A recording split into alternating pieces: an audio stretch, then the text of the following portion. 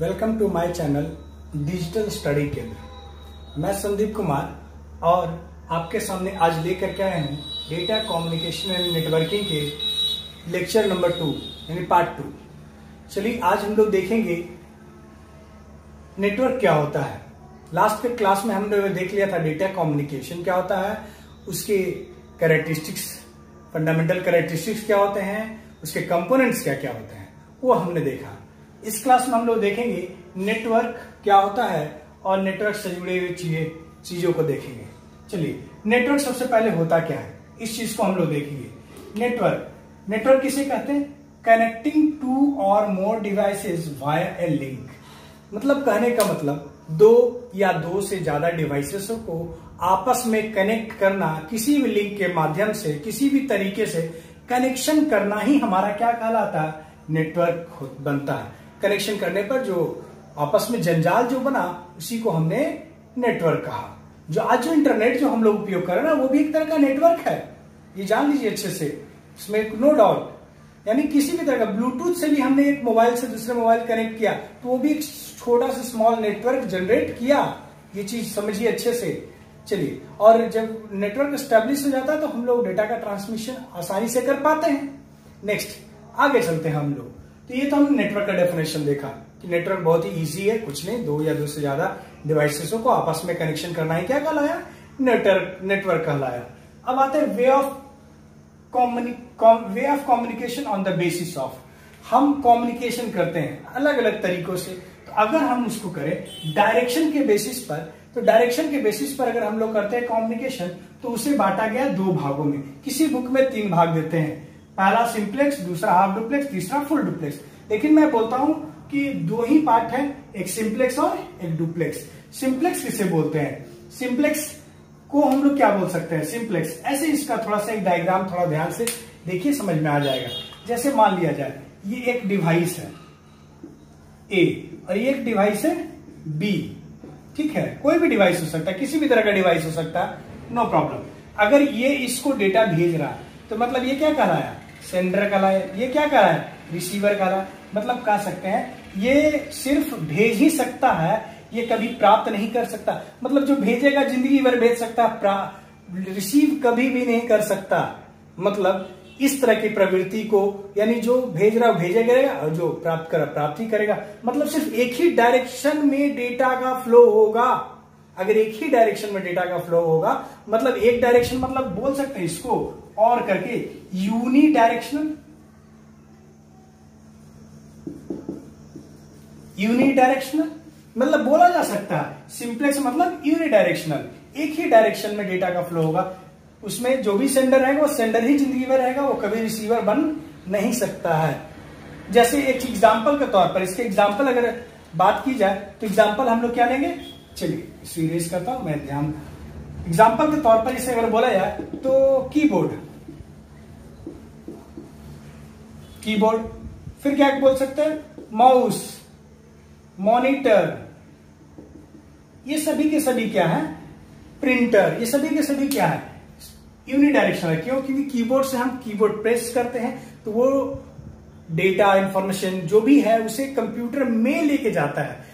Computer से keyboard के पास कुछ कभी नहीं आता है। ठीक है जनरली जो हम लोग कीबोर्ड यूज़ करते हैं मतलब वो यूनिडायरेक्शनल माउस भी उसी प्रवृत्ति पर है मॉनिटर भी उसी प्रवृत्ति पर है कि मॉनिटर पर सिर्फ़ क्या होता है सीपीयू से आता है सीपीयू सेंड करने वाला वहाँ हो गया और रिसीवर हमारा मॉनिटर हो गया। तब किसी के दिमाग में आ रहा सर टच वाला मॉनिटर भाई वो अलग चीज़ है वो स्पेशल केस है लेकिन ये जो देख रहे हैं आप मॉनिटर वो मॉनिटर जनरली जो हम लोग यूज़ करते हैं उसकी बात बोल रहे हैं जो, जो टच नहीं हो टच स्क्रीन ना हो ठीक है? क्योंकि जो टच स्क्रीन होगा वो दोनों कर सकता है। इन रिसीव भी कर सकता है सेंड भी कर सकता। है तो वो चीज़ को हटा करके मैं बोल रहा हूँ मॉनिटर जो हम लोग आज तक पढ़ते आए हैं, वो यूनिडायरेक्शनल होता है। सीपीयू से मॉनिटर में डेटा आता है नथिंग मोरल्स नेक्स्ट आते हैं। दूसरे टाइप्स की ओर हम लोग चलते हैं। दूसरा टाइप है हमारा हाफ़ डुप्लेक्स हाफ़ डुप्लेक्स क्या कहलाता सॉरी डुप्लेक्स डुप्लेक्स को दो भागों में बांटा गया, एक हाफ़ डुप्लेक्स और दूसरा फुल डुप्लेक्स हाफ़ डुप्लेक्स और फुल डुप्लेक्स को हम लोग थोड़ा देखेंगे कि हाफ़ डुप्लेक्स होता क्या है? हाफ़ डुप्लेक्स जैसे मान लीजिए, चलिए फिर से एक बार डायग्राम में आता मैं ये हो गया एक, ये हो गया दूसरा डिवाइस अगर ये भेज रहा है, चलो ठीक है, भेजेगा नो प्रॉब्लम ठीक है? और लेकिन जब ये भेज रहा था ये क्या कहला है सेंडर कहला है ये क्या कहला है ये क्या कहला है रिसीवर कहला है लेकिन ऐसा भी सिचुएशन है इसको भी तो भेजने का अवसर मिले, ये भी तो कभी भेज सकता है। तो जब ऐसा सिचुएशन आए, जब ए बी को भेज रहा है बी ए को भी भेज रहा, लेकिन मोस्ट इंपॉर्टेंट पॉइंट दोनों एक समय में भेज नहीं सकते। दोनों एक समय में भेज नहीं सकते। फॉर एग्ज़ाम्पल के तौर पर, पूरा आपने बॉर्डर मूवी देखा होगा या बहुत सारे ऐसे डिवाइसेस देखा होगा। वॉकी टॉकी का नाम सुना होगा जो बड़े बड़े मॉल वगैरह में भी यूज़ किया जाता है। जिसमें क्या होता है, एक बटन दबा करके प्रेस करके बोलना होता है। जब हम बोलते हैं तो अगला सुन रहा है। उस ड्यूरेशन अगर वो बोलना चाहेगा तो हम तक वो डिटेल वो डेटा आएगा ही नहीं। मतलब कर सकते हैं, जब जो सेंडर है, वो जो सेंड ही कर सकता है, और रिसीवर है जो रिसीव कर सकता है एक समय में। लेकिन दूसरे समय में रिसीवर भी सेंटर बन सकता है, और सेंटर भी क्या बन सकता है? रिसीवर बन सकता है। इसके एग्ज़ाम्पल हम लोग देखते हैं। इसके एग्ज़ाम्पल हम लोग बोलते हैं वाकी टाकी वाकी टाकी वाकी टाकी और और एग्ज़ाम्पल क्या हो सकता है? सीबी रेडियो सीबी रेडियो इसके example etc citizen band radio बोलते हैं। ये जो पुलिस वगैरह लोग यूज़ करते हैं वायरलेस वो वाला, वो सीबी रेडियो बना जाता है। तो वो चीज़ें हाफ़ डुप्लेक्स में आपका वाकी टॉकीज और सीबी रेडियो दोनों भेज सकते हैं दूसरे को डेटा लेकिन एट ए टाइम नहीं। एट ए टाइम नहीं। नेक्स्ट आते हैं। फुल डुप्लेक्स फुल डुप्लेक्स क्या है? Full duplex. फिर से हम लोग एक डायग्राम बनाते हैं, फिर से वही डायग्राम ये रहा हमारा ए और ये रहा हमारा बी चलिए ए ने बी को डेटा भेजा बी ने ए को डेटा भेजा। तब देख रहे हैं कि दोनों के दोनों एक ही समय में, एक ही समय में डेटा को भेज सकते हैं। वैसा को हम लोग बोलते हैं फुल डुप्लेक्स। मतलब इसका एग्ज़ाम्पल आज के समय में जितना मोबाइल मोबाइल से हम बातें करते हैं, फिर और क्या हो सकता है? और और भी क्या हो सकता है? सोचिए, एकदम आसान सा टेक्निक है। ऐसा कुछ नहीं है कि बहुत ज़्यादा टफ है। ठीक है? मोबाइल हो गया, जो खासतौर पर हम लोग बात करते हैं सेटेलाइट हो गया, ये ये जो चीज़ें हैं, ये सारी की सारी फुल डुप्लेक्स के अंदर आती है। क्यों? क्योंकि हम लोग भी भेज सकते हैं। अब फ़ोन से देखिए हम लोग बातें करते हैं। तो हम लोग बोलते रहते तो अगला क्या उस ड्यूरेशन नहीं बोल सकता है। वीडियो कॉलिंग हो गया।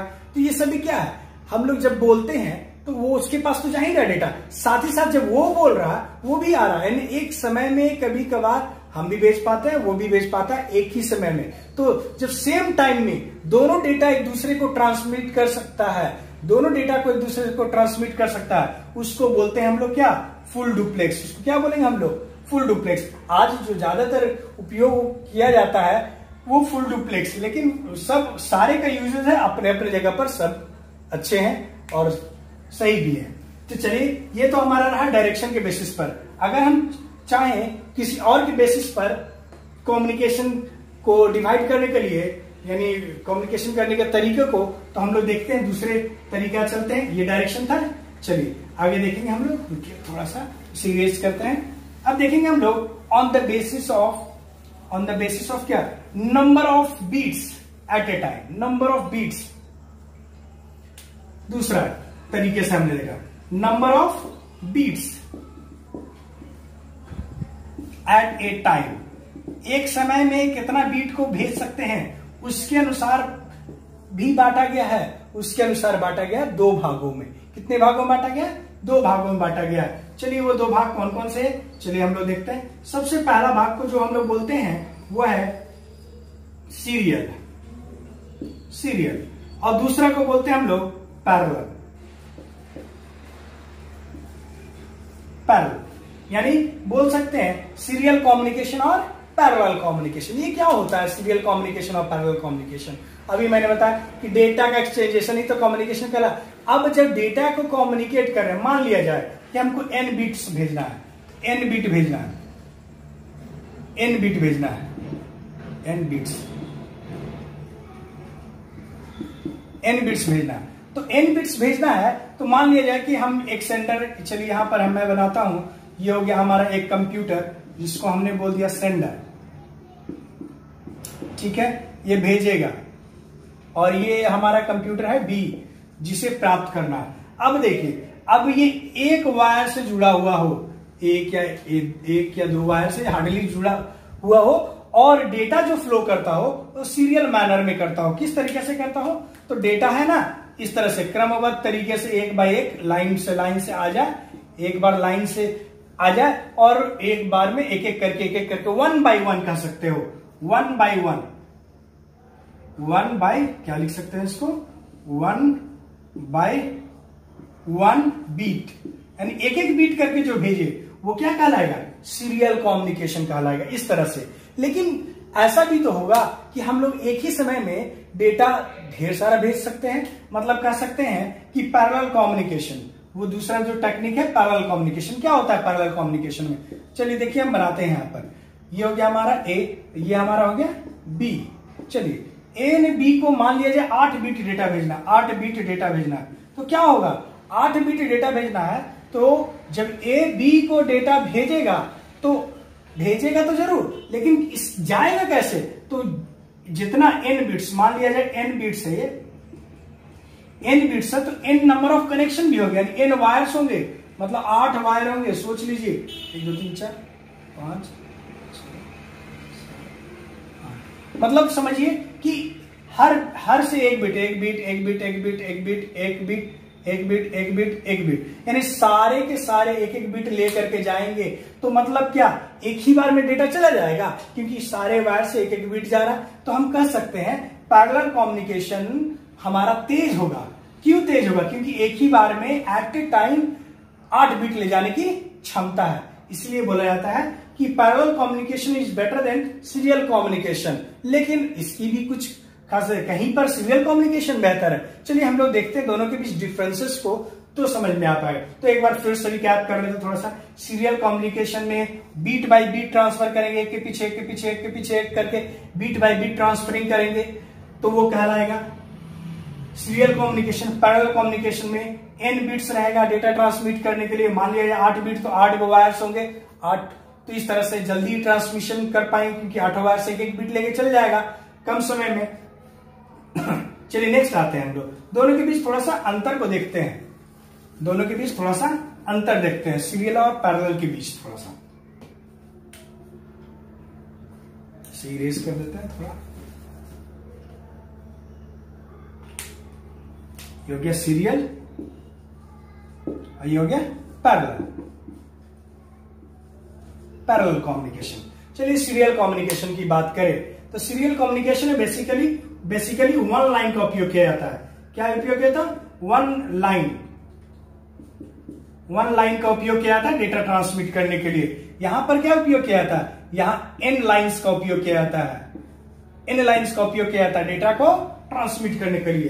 तो ये एक ही लाइन है। ये एन लाइन्स है तो एन लाइन्स वाला ज़्यादा तेज़ी से करेगा। मतलब कह सकते हैं कि स्पीड क्या होगा? स्पीड स्पीड, सीरियल कम्युनिकेशन का स्लोअर होगा।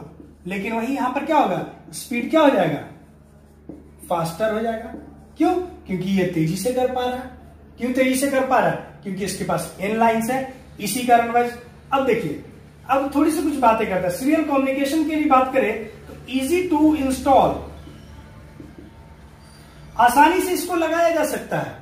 आसानी से सेट किया जा सकता है नो प्रॉब्लम लेकिन इसमें नंबर ऑफ़ वायर्स ज़्यादा होने की वजह से वो कॉम्प्लेक्स हो जाएँगे ना तो हम बोल सकते हैं डिफ़िकल्ट टू यानी complex complex to install complex to install कहा जा सकता है।